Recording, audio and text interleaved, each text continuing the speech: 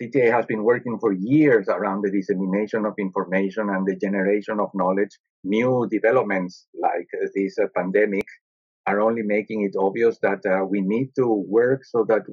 uh, information flows continue, that it is possible to become aware of what is known, what is not known, what possibilities are there. There is an enormous menu of potential solutions, of ideas to try out, of ideas to adapt,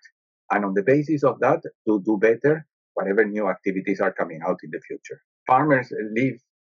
in, in many ways isolated, far away from each other. And I think that the idea of uh, online tools, online uh, platforms, or communication possibilities is only making it uh, easier to communicate, to exchange, to share ideas. That means that we have to continue developing these uh, digitalization uh, ideas, building on what has been done, working together with all those who are testing, trying out new ideas in other fields,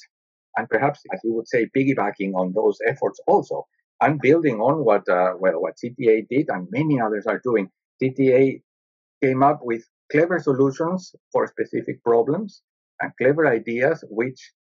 served as inspiration and which I think are going to continue inspiring many others in the near future. And I would like to CTA to be remembered like that as an organization which tested,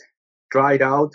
ideas and helped others try them out by communicating them, by sharing them, by working with different groups, and by showing the very good results that were taking place here so that it can also be taken place, uh, be found taking place somewhere else.